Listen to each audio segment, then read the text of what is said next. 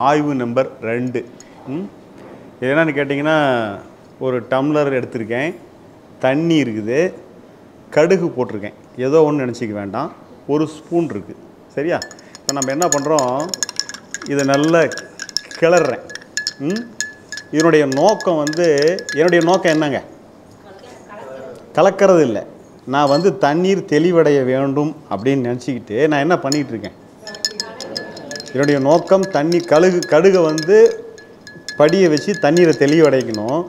எப்படியாச்சும் அந்த தண்ணியை தெளிய வைக்கணும். எப்படியாச்சும் அந்த தண்ணியை தெளிய வச்சிடணும். தண்ணியை தெளிய வச்சிடணும் தண்ணியை தெளிய வச்சிடணும் தண்ணியை தெளிய வச்சிடணும்னு சொல்லிட்டு என்ன பண்ணிட்டு இருக்கிறேங்க? கொஞ்சம் கவனிங்க. என்ன பண்ணிட்டு இருக்கிறேன்? ஆமாம் நான் என்ன செஞ்சுக்கிட்டு இருக்கிறேன்? ஆனால் தெளிவு நான் வந்து தண்ணீரை தெளிவு பண்ணணுன்றது என்னுடைய நோக்கம். ஆனால் நான் என்ன பண்ணிட்டு இருக்கிறேன்? ம். தெளி என்னுடைய நோக்கம் தண்ணீர் தெளிவடைய வேண்டும். ஆனால் நான் செய்கிறது என்ன பண்ணேன்? தண்ணியை கலக்கிக்கிட்டு இருக்கேன்.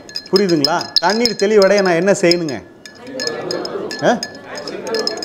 விட்டா போதும். விட்டா போதும். என்ன ஆகும்?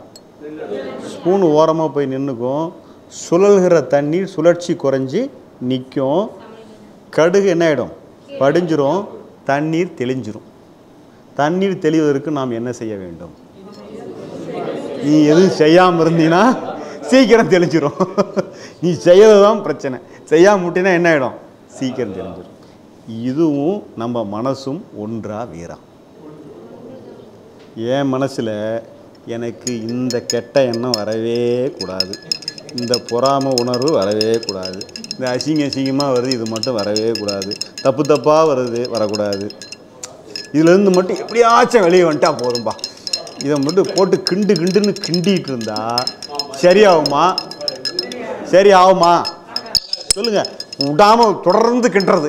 ஏன்னா நம்ம ஜெயிச்சாகணும்ல. நம்ம நோக்கமே அப்படி தானே சார். மனசை வெற்றி கொள்கிற நோக்கம் தானே நம்ம நம்மளுடைய ஆ? உடைய உடைய உடைய நல்ல மொத்தமான கிளாஸாக தான் வாங்கியிருக்கிறோம். போட்டு எப்படியாச்சும் நம்ம கிண்டி என்ன பண்ணணும்னு நினச்சிடுறோம்? வெற்றி கொண்டு விட வேணும்னு நினச்சிட்ருக்கோம் புரியுதுங்களா? மன இது சு சுற்றி என்ன செய்ய முடியாதுங்க. மன தெளிவை உருவாக்க முடியாது. நம்ம கைவசம் அது இல்லைன்னு புரிஞ்சிக்கிறதுக்கு பேர் என்னங்க? அப்போ அடுத்தது உங்களுக்கு என்ன உணர்வு வந்தால் என்ன வந்தால் நீங்கள் என்னங்க பண்ணணும்?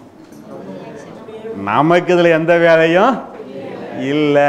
நாமளாக போட்டு ஸ்பூனை போட்டு கிளற மாதிரி என் அறிவை போட்டு கெண்ட வேணாம்னு புரிஞ்சுக்கிட்டால் வேலை முடிஞ்சுது. அப்போ என்ன ஆகிடும் அது ஈஸியாக சீக்கிரம் செட் ரேட்டுங்கிறது நேச்சுரல் ஆகிடும் புரிஞ்சுதுங்களா இது ஆய்வு நம்பர் ரெண்டு Thank you.